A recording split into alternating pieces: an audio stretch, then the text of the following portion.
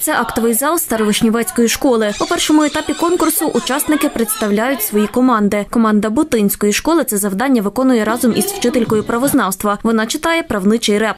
Хотіли би надалі, щоб залучали учнів із шкіл громади е, до таких заходів, тому що для них це корисно, повчально і для нас, як вчителів, також, тому що ми переживаємо за свою команду, ми готуємося з ними.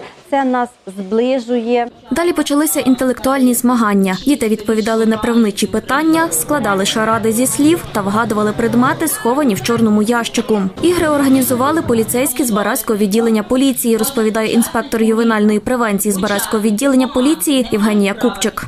З 9 по 13 грудня у нас проводиться такий е, всеукраїнський тиждень права, в рамках якого ми організовували правничі ігри між учнями шкіл, які відносяться до Вишнівецької ОТГ. Перемогла у правничих іграх команда Правдолюби з Бутинської школи. Капітан дев'ятикласниця Тетяна Мельничук. Я беру першу участь у такому заході.